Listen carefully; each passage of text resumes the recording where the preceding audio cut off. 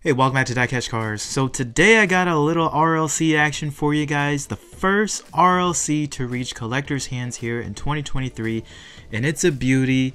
The Kawabunga Volkswagen Bug Spectra Flame Blue. It's got the surfboard. It does have an opening trunk, which we'll get to in a minute here. But guys, what a great way to start off 2023. So I'll admit I don't have a lot of VW representation within my collection, but this one is a must. And the reason being is it's a first edition. It does have opening features. Again, it's got this awesome roof rack here. That's just amazing. I mean, all the things you would need as a surfer. Again, I'm not a surfer, but I would imagine all the things you would need as a surfer to get out there and catch some waves. Let me just get this trunk open for you guys and we'll get a good look at the engine there. Another cool tool that I have here, this is from one of my Auto Art 118 scales, but it's a little pick tool.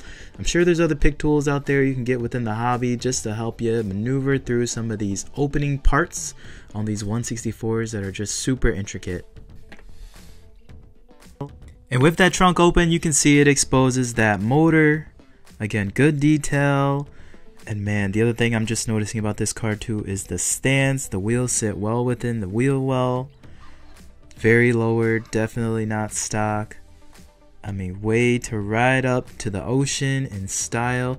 It kind of gives me a little bit of a uh, Boyz n the Hood vibe because the main character did drive around in a dark blue VW Bug. It does have this cool feature with the windshield as well too. It is propped open. Some other details of this car, you can see it's got one front fog light, all the details, front pinstriping, got the white side panels on the car. Man, this is what RLC is all about. Another cool feature that I don't think a lot of people know about is that you can take this surfboard off. Now, you just got to be really careful and believe me, I practice a little bit before I made this video, but if you actually push forward towards the front of the car, it does slide off. It is kind of a cool little intricate piece.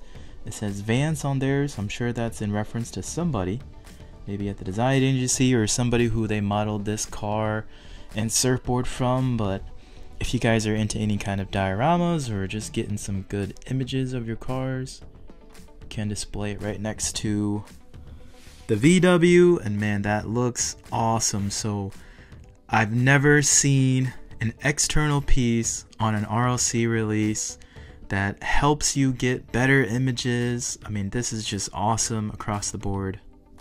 And there's just no questioning why this car was so popular coming off RLC. And to my surprise as well too, guys, it didn't fly off the Mattel Creations website. It didn't sell out instantly, which I thought it would. It is out of a quantity of 30,000, but it did take about, I would say, 45 minutes for this car to sell out. And I questioned why is everybody sleeping on this cast, this model.